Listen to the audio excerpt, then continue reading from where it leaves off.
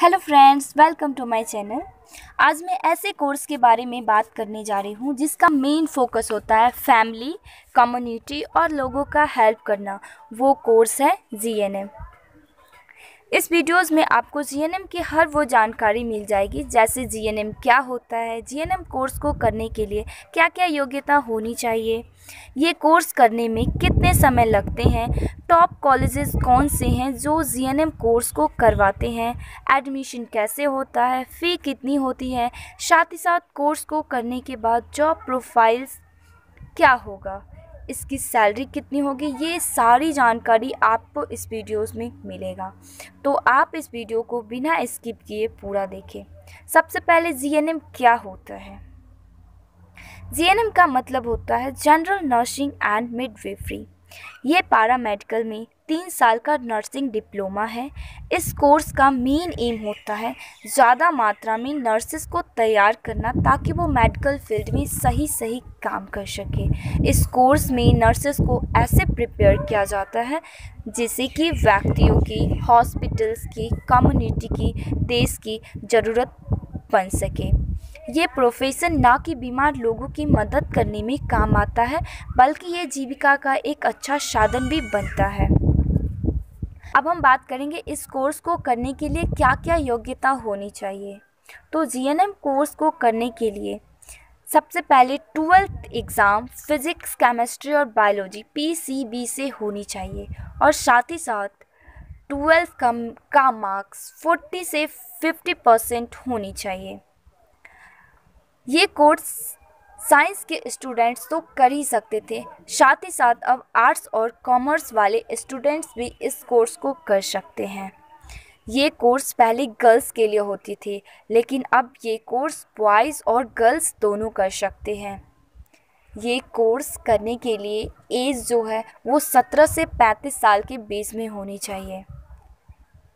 Total GNM course को करने के लिए तीन साल छः महीने होते हैं। अब आप इस जी कोर्स में एडमिशन कैसे ले सकते हैं?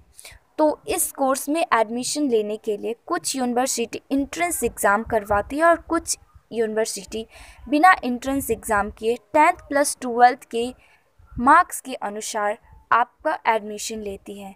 कुछ खास इंट्रेंस एग्ज़ाम है, जो जीएनएम कोर्स में एडमिशन लेने के लिए दिया जाता है, वो इंट्रेंस एग्ज़ाम है। AIIMS nursing entrance exam B H U nursing entrance exam JIPMER nursing entrance exam ये सभी नर्सिंग एग्ज़ाम देने के बाद आपको एक अच्छे गवर्नमेंट कॉलेज मिलेंगे, जिसमें आप जीएनएम कोर्स कंप्लीट कर सकते हैं। अब टॉप कॉलेजेस कौन कौन से हैं जो जीएनएम कोर्स को करवाते हैं?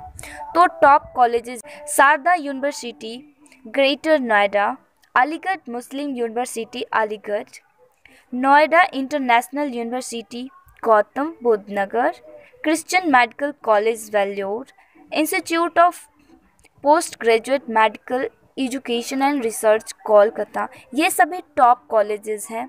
जो कि जीएनएम कोर्स को करवाते हैं। जीएनएम कोर्स का सिलेबस क्या होता होगा? तो जीएनएम कोर्स का first year syllabus second year syllabus और थर्ड ईयर सिलेबस तीनों अलग अलग होते हैं।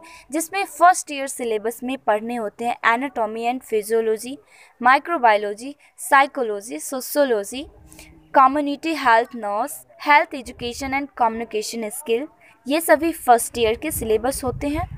और अब हम बात करेंगे जीएनएम कोर्स के फ़ायदे। क्या फ़ायदे हैं? तो इस कोर्स को करने के बाद आप गवर्नमेंट और प्राइवेट दोनों सेक्टर में जॉब कर सकते हैं। साथ ही साथ हॉस्पिटल में जॉब कर सकते हैं। लोगों की स्वास्थ्य सेवा कर सकते हैं। विधवा आश्रम, अनाथ आश्रम, इन सभी जगहों पे भी जॉब कर सकते हैं। जब एक बार आप जीएनएम कोर्स कर ले तो आपका जॉब प्रोफेशन होगा staff nurse home nurse health visitors community health worker home care nurse nurse educator ICU nurse clinical nurse travelling nurse इत्यादि के पद पे आप काम कर सकते हैं। लास्ट में बताओ कि इसकी सैलरी कितनी होती है? तो इसकी सैलरी आपके पोजीशन पे डिपेंड करती है कि आप किस पोजीशन पे हैं और कौन सा काम करते हैं। फिर भी एक बता दूँ रेशियो के अनुसार तो इसकी सैलरी 2.5 लाख से लेकर 3 point lakh per year rupees होती है।